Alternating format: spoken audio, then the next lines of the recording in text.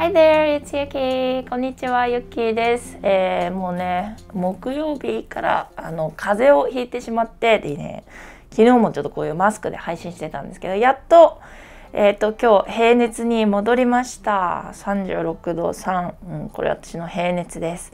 で、えっ、ー、と、今日はですね、ちょっとこの平熱に戻った、えー、これ英語で何て言うか考えてみたいと思います。そういえば何て言うんだろうと思ってちょっと知らなかったので。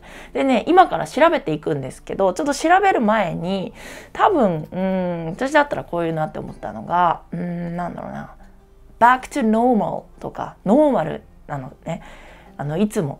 のものに戻ったっていう言い方をするかそれか same as usual とかいつも通り普段通りですとかねそれか、まあ、この体温をそのまま言ってしまうで I'm okay とか言うのもいいかなと思います。うん、そんな感じで言うかなと思ったんですがそうじゃあちょっと調べてみましょう。平熱英語で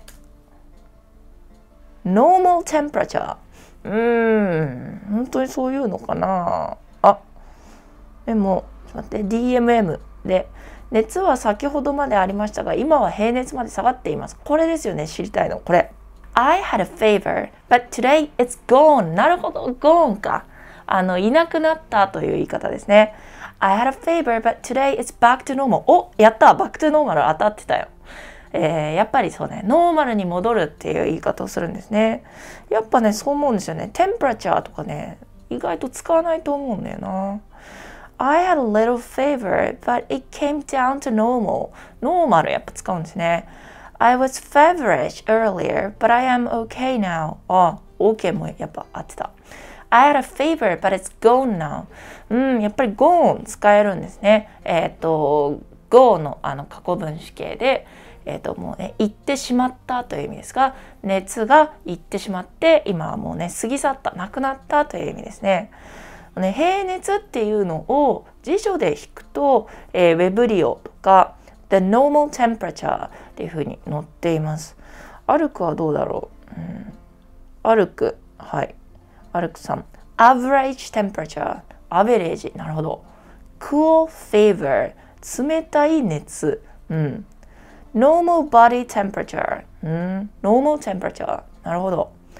であるけど実際これえっ、ー、と会話の中では多分えっ、ー、とね normal temperature とかそんなそれだけで使うかというとそっちよりもさっきの back to normal とか it's gone の方がえっ、ー、とね通じやすいんじゃないかなと思いますね。あとは、えー、アルクさん。平熱に戻る。become アフ、なにこれ？アフブレベアフブレイル。なんだこれ？初めて見たこの単語。アフブレイル。こんなんがあるんだ。平熱の熱のないという単語があるみたいですね。AFEBRILE エフェブレル。うんエフェブレル。エフェブレルっていうんですね。へえこんな単語があるんだこれ。多分相当難しい単語だろうな。語彙レベルめちゃめちゃ高いですね。なかなか使わないし、見たことなかったですね、これ。でも、熱のないという、あの、お医者さんとかご存知かもしれないですね。医学用語、専門用語かもしれませんが、 afebrile っていうので、えっ、ー、と、平熱のという意味になるみたいです。無熱性っていう意味ですね。うーん。はい。えー、そんな感じでしたね。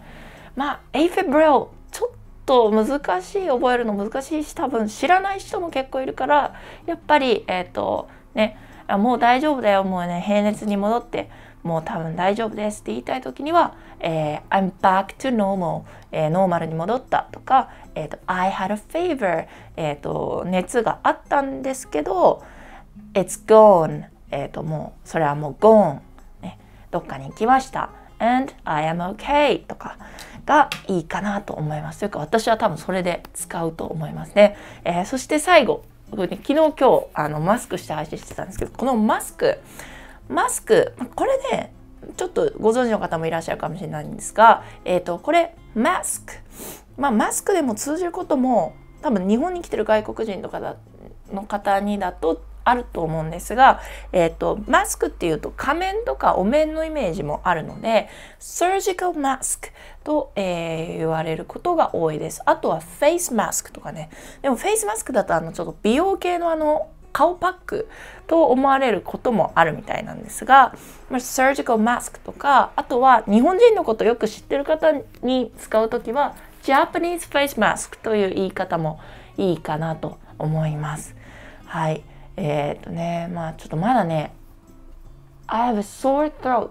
えっ、ー、と、今日、まあ、熱は下がったんで、もう本当楽になったんですけど、喉が痛いので、えっ、ー、と、ちょっと引き続き用心して、今日はね、美味しいものもいろいろ食べて、えーと、回復したいと思います。もうほんと急にあの熱を出してしまったのでなんかねうん気をつけなきゃいけない時期かもしれないですね。はい、えー、皆様もぜひぜひご自愛ください、えー、それではまた明日お会いしましょう。明日もなんかこういう英語のお役立ちネタをお届けできたらなと思います。それでは See you later and have a good weekend. Bye bye!